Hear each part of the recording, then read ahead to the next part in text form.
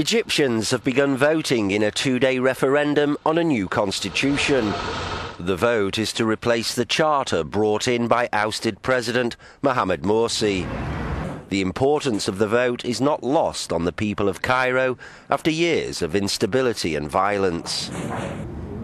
Yes to the new constitution and may God bring calm to the nation. Many people have been lost. May God bring us victory.